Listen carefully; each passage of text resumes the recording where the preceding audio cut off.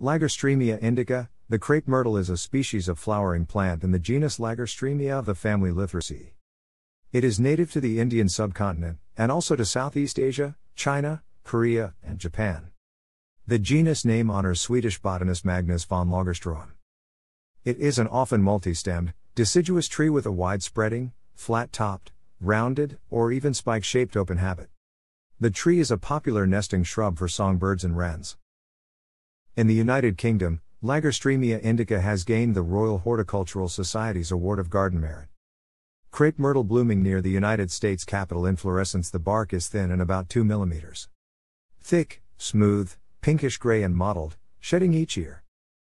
Leaves also shed each winter, after spectacular color display, and bare branches relief early in the spring. Leaves are small, smooth edged, circular or oval shaped, and dark green changing to yellow and orange and red in autumn. Flowers, on different trees, are white, pink, mauve, purple, or carmine with crimped petals, in panicles up to 9 centimeters. Flowers give way to six capsuled, brown dehiscent fruits. In the United States, Lagerstroemia indica is a very popular flowering shrub slash small tree in mild winter states. Low maintenance needs make it a common municipal planting in parks, along sidewalks, highway medians, and in parking lots. Like the southern magnolia, the crepe myrtle has come to symbolize the American South because of its extensive planting and ability to thrive in hot, humid summer climates with regular precipitation. It is one of only a few trees slash shrubs to offer brilliant color in late summer through autumn, at a time when many flowering plants have exhausted their blooms. In arid climates, it requires supplemental watering and some shade in the very hottest areas. The plant must have hot summers in order to flower successfully, otherwise, it will show weak bloom and is more vulnerable to fungal diseases. Frequently, L. indica is root hardy to zone 5, meaning it will be killed back during harsh winters but regrow from the roots and flower in summer. As such, northern gardeners treat it more like a perennial than a tree or shrub.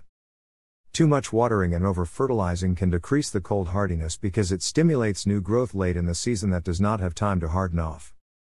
Lagerstroemia indica is frost tolerant, prefers full sun, and will grow to 6 meters with a spread of 6 meters. The plant is not picky about soil type but does require good drainage to thrive. Once established, it is also quite drought hardy, though it benefits from the occasional deep watering during the summer months. 15 hybrid cultivars have been developed between L. indica and L. fauriei by the U.S. National Arboretum for increased cold hardiness and resistance to disease, all given the names of Native American tribes. There are also dwarf cultivars of Indica times fauriei crossbreeds and regular L. indica species, which grow 2 to 5 feet. Lagerstroemia is a common planting in South Atlantic states and is becoming an increasingly common shrub in mid Atlantic states all the way up through the coastal areas of Massachusetts. Lagerstroemia also thrives in the Mediterranean and desert climates of Southern California, Arizona, and Nevada, and also in Australia as a street plant.